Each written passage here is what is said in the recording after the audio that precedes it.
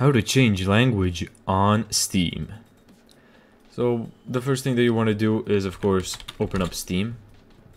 Once you're inside of Steam, what you want to do is head over to the settings. So on the top left corner of the screen, click Steam and click settings.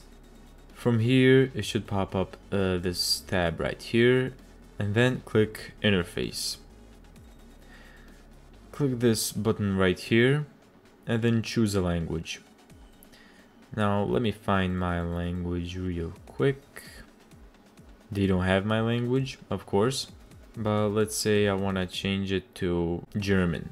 Uh, let's click German. So to do this, what you need to do is restart Steam. So now when you go to OK, it's gonna say you must restart Steam now to change your language settings. Uh, I'm gonna do that right now, why not? For educational purposes, of course. And there you go, Steam launched in German. Now, because I don't understand anything, I'm gonna...